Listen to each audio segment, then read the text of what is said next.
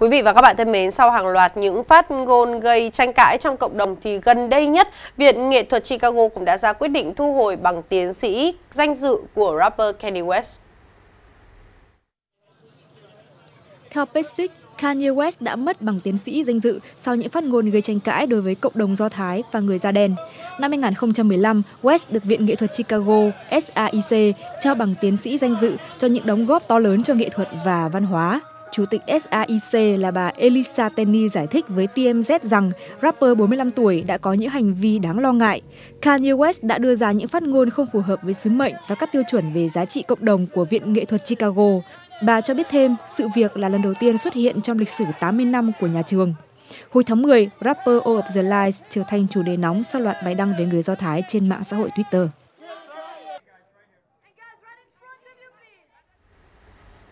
À, trước hôn lễ một ngày mới đây thì Hoa hậu Ngọc Hân đã hé lộ loạt ảnh cưới mà vợ chồng cô đã thực hiện từ 5 năm trước tại Ai Cập. Hoa hậu Ngọc Hân và ông xã Phú Đạt nảy ra ý định chụp ảnh cưới nhân dịp cả hai cùng có chuyến công tác tại Ai Cập. Đây là đất nước mà cặp đôi gặp nhau lần đầu tiên có những ấn tượng tốt đẹp và rung động về nhau. Theo tiết lộ của Hoa hậu Ngọc Hân, cô tự chuẩn bị trang phục make up và làm tóc, không hề có một ekip nào để hỗ trợ. Trước hôn lễ một ngày, vợ chồng Ngọc Hân đang tất bật hoàn thiện những khâu cuối cùng của ekip để có được một đám cưới đậm nét văn hóa truyền thống. Vợ chồng Ngọc Hân Phú Đạt quen nhau từ năm 2011 khi qua hậu sang Ai Cập công tác. Cô ấn tượng về ông xã vì anh là người có kiến thức phong phú, phong cách nói chuyện dí dỏm nên đã chủ động chinh phục. Tình yêu cặp đôi trải qua nhiều thăng trầm, đã có lúc chia tay rồi lại quay lại bên nhau. Năm 2019, Ngọc Hân được ông xã cầu hôn. Cả hai đã lên kế hoạch tổ chức đám cưới vào năm 2020 nhưng phải liên tục trì quản do ảnh hưởng của đại dịch Covid-19. Quý vị và các bạn thân mến, hàng loạt các celeb và nhà thiết kế Việt đình đám cũng đã có một màn đổ bộ hoành tráng trên sân khấu áo dài gặp gỡ lụa Thái Lan tại tuần lễ thời trang quốc tế tơ lụa Thái Lan lần thứ ba. Chương trình do Đại sứ quán Việt Nam tại Thái Lan phối hợp với Hiệp hội Tơ lụa Thái Lan và Quảng bá Văn hóa Thái Lan tổ chức. Năm nhà thiết kế nổi tiếng của Việt Nam nhận được lời mời tham gia chương trình là Ngô Nhật Huy, Lê Thị Lan Hương, Trần Thiện Khánh, Duy Hoàng và Ruby Trần. Cùng với các nhà thiết kế, chương trình còn chào đón sự hội tụ của dàn Hoa Á hậu đình đám của showbiz Việt, Hoa hậu Hòa bình quốc tế 2021 Nguyễn Thúc Thủy Tiên, Hoa hậu Liên lục địa 2022 Lê Nguyễn Bảo Ngọc, Hoa hậu Lương Thủy Linh, Hoa hậu Huỳnh Nguyễn Mai Phương, Hoa hậu Đoàn Thiên Ân, Á hậu Lona Kiều Loan, Á hậu Chế Nguyễn Quỳnh Châu, Á hậu Ngọc Thảo, Á hậu Phương Nhi, Hoa khôi Thúy Vi. Tuần lễ quốc tế thời trang tơ lụa Thái Lan lần thứ ba vẫn tiếp tục diễn ra đến hết ngày 11 tháng 12 năm 2022 tại Trung tâm Thương mại Siam Paragon, Bangkok, Thái Lan.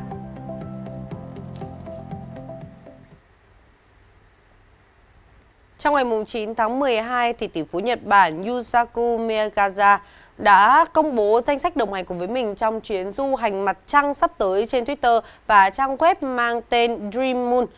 Trong đó thì ngôi sao K-pop top và DJ Steve Aoki sẽ cùng nằm trong số 8 thành viên phi hành đoàn và cùng ông thực hiện chuyến du hành mặt trăng. Theo hãng tin Reuters, ông Maezawa đã mua toàn bộ chỗ ngồi trong chuyến du hành mặt trăng này. Chuyến đi được lên kế hoạch từ năm 2018.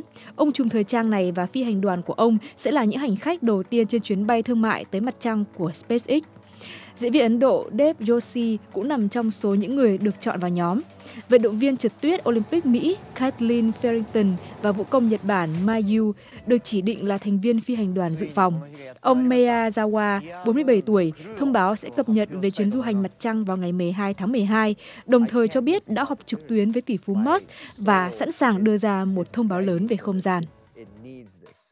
Theo xếp hạng chỉ số hộ chiếu mới nhất do công ty tư vấn tài chính Canada Aton Capital mới công bố, thì hộ chiếu của các tiểu vương quốc Ả Rập Thống Nhất UAE đã vượt qua hộ chiếu của Đức và Thụy Điển, trở thành vị trí đầu bảng. UAE cũng đã vươn lên dẫn đầu bảng xếp hạng quyền lực nhờ vào tấm hộ chiếu có thể dễ dàng đi đến những quốc gia khác trên thế giới. Những người sở hữu hộ chiếu của Vương quốc Hồi giáo này được miễn thị thực tới 121 quốc gia và có thể xin được thị thực khi đến 59 quốc gia khác.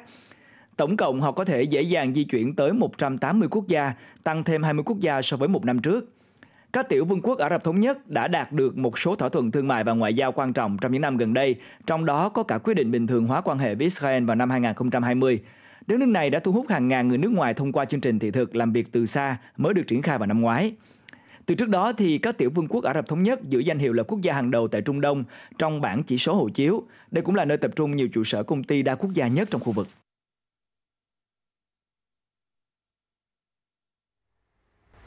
Thưa quý vị, thì các bạn, trong thời gian vừa qua, mạng xã hội Twitter liên tục gặp phải nhiều rắc rối.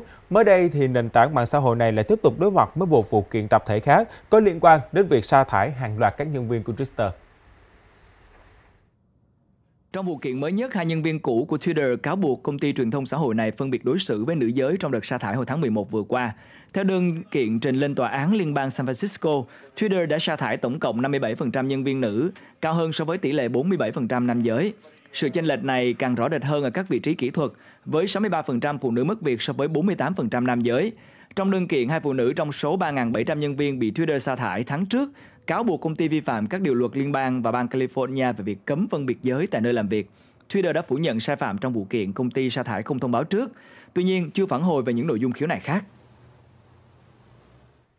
Thưa quý vị, thưa các bạn, vào ngày 8 tháng 12, hơn 1.000 nhân viên của tờ The New York Times của Mỹ đã tiến hành một cuộc đình công lần đầu tiên trong hơn 40 năm qua sau khi không đạt được một thỏa thuận với ban lãnh đạo tờ báo về vòng đàm phán hợp đồng mới.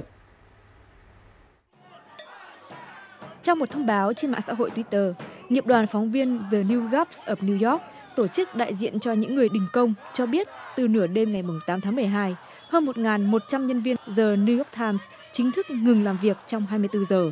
Đây là lần đầu tiên trong 4 thập niên qua diễn ra cuộc đình công ở quy mô lớn như vậy tại tòa soạn này. New York Times nên cảm thấy may mắn khi họ còn có nhân viên làm việc, chứ không phải đi ban phát đặc ân làm việc cho người khác. Chúng tôi luôn cam kết hoàn thành tốt nhiệm vụ được giao, nhưng những gì họ đối xử với chúng tôi khiến chúng tôi thực sự thất vọng. Chúng tôi muốn nói với các nhà lãnh đạo công ty rằng chúng tôi xứng đáng nhận được mức lương công bằng. Tôi gần như đã công hiến cả cuộc đời mình, 31 năm với New York Times. Tôi hiểu được những gì công ty đã và đang phải trải qua. Theo New News of New York, lý do đình công là ban quản lý tờ báo từ chối tăng lương tương ứng với mức gia tăng lạm phát, các phúc lợi về y tế và hưu trí cũng như các chính sách quay trở lại làm việc sau đại dịch COVID-19 cũng là vấn đề gây tranh cãi. Hiện có hơn 1.800 nhân viên làm việc tại phòng thời sự của The New York Times. Trong một bài viết về cuộc đình công, tòa soạn cho biết những nhân viên phòng thời sự không tham gia đình công sẽ tiếp tục sản xuất tin tức. Vào ngày 9 tháng 12, chính quyền bang New South Wales của Australia cũng đã tuyên bố kế hoạch thí điểm chứng nhận cờ tím cho những khu vực an toàn đối với người dân và du khách muốn tận hưởng một cuộc sống về đêm ở thành phố Sydney. Bộ trưởng Doanh nghiệp Đầu tư và Thương mại bang New South Wales Alistair Hansken cho biết, việc công nhận sẽ cho phép mọi người dễ xác định được các khu vực đã đáp ứng các tiêu chuẩn cao về an toàn, sự sống động và đa dạng của các hoạt động giải trí. Dự kiến 4 điểm giải trí về đêm nổi tiếng ở thành phố Sydney bao gồm có tuyến phố YCK nằm sát trung tâm Sydney, phố Church của thành phố Parramatta, phố Howden của quận Lakamba và đường Illawarra của quận Marrickville, nơi có đông người Australia gốc Việt sinh sống, sẽ được đánh giá về mức độ an toàn và tuân thủ để được công nhận là các khu vực cờ tím vào đầu năm tới. Được biết, sáng kiến cờ tím lần đầu tiên được đưa ra tại Anh vào năm 2012 nhằm công nhận các khu phố và thị trấn áp dụng các tiêu chuẩn và chính sách quản lý nền kinh tế ban đêm.